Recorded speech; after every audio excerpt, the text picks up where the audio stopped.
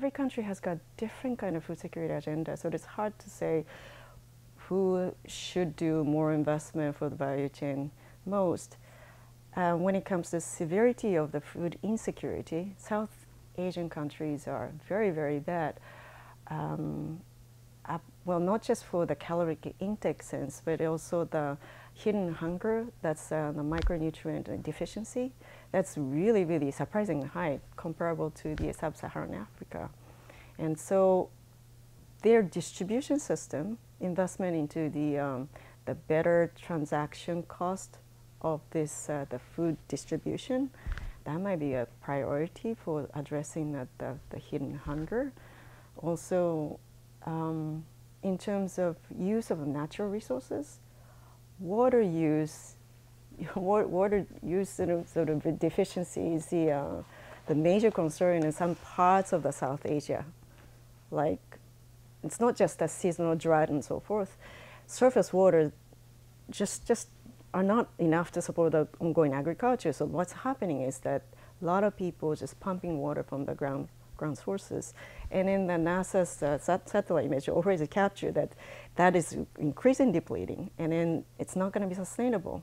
In next 15 years, there has to be something done. Otherwise, there'll be no water whatsoever for agriculture or drinking or whatever, whatever that they use. So that is also a pressing food security agenda.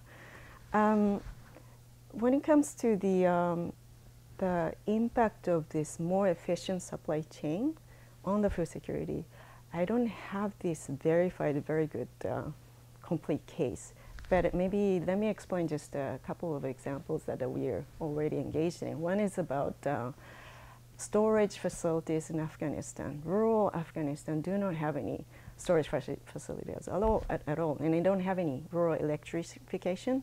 So what we invest in is the non-electric, just with the, uh, the structure that would insulate and extend the product life of this uh, potato and onion. It's a very, very simple investment.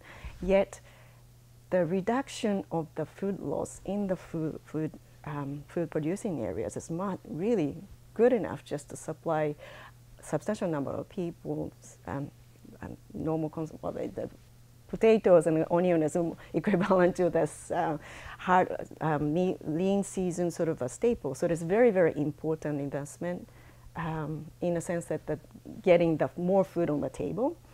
And more importantly, with the storage, with the extended life of the, the product, they could pick the time when they, they want to sell if they want to. Before that, the storage, you cannot choose but just to sell it as you harvest at a very low price. But now with the storage, people can choose to sell it at the highest point, usually before the, the next harvest, when all the supply is limited, right? So there is a huge income gain in some of the households. So that's sort of, uh, um, it's not the project is uh, that's, that's just started maybe uh, in, into a second year now, but we started to see that kind of bits and pieces of evidence that is food value chain's efficiency gain could lead to the household food security um, securing the, the, that's that's very important part of that securing the food security at the household level.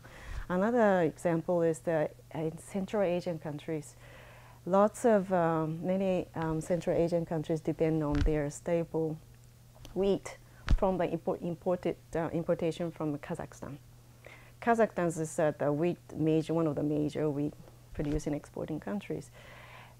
But not so much of the Kazakhstan's uh, problem, but uh, all the importing countries always depend on the half of their staple from the importation. Therefore, what Kazakhstan does really severely influence their, the state of food security of these neighboring countries.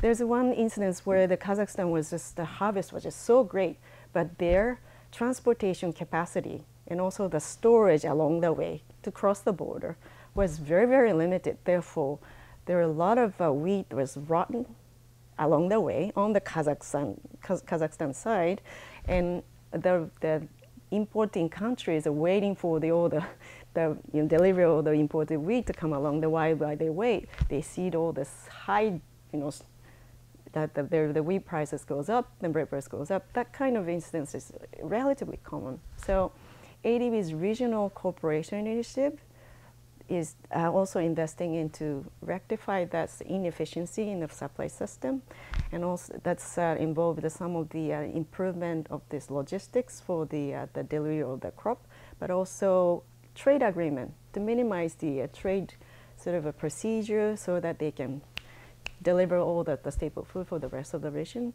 That is uh, not traditional food security investment, yet it's just so significant investment for the, some of the countries in Central Asia. So those are the how I see the value chain inefficiency can influence the food security state of many poor countries.